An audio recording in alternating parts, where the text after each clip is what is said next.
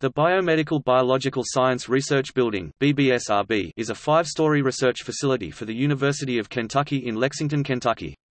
It is located at the corner of Virginia Avenue and South Limestone. The BBSRB was designed by famed architects and urban planners Robert Venturi and Denise Scott Brown of Venturi, Scott Brown and Associates with A. M. Kinney and Hira. It is the first of a series of buildings in a comprehensive plan the firms developed for the university's healthcare precinct.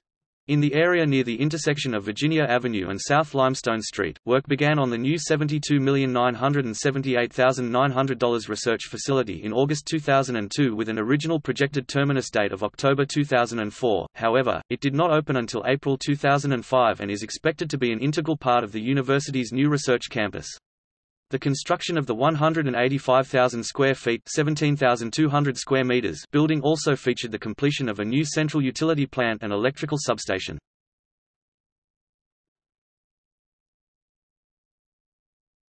Topic: Current It features workstations for laboratory technical staffing, offices, animal care areas, central autoclave facilities, centrifuge rooms, cold rooms and tissue and cell culture facilities for the College of Medicine, College of Pharmacy, and College of Arts and Sciences. Over 400 faculty, staff and students report to the College of Medicine's Department of Molecular and Cellular Biochemistry, the Institute of Molecular Medicine, the Spinal Cord and Brain Injury Research Center and the Drug Abuse Treatment Research Program.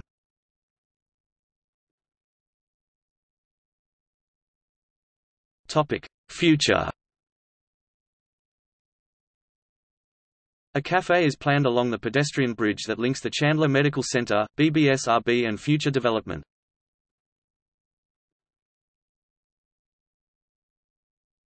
Topic: See also Buildings at the University of Kentucky Cityscape of Lexington, Kentucky University of Kentucky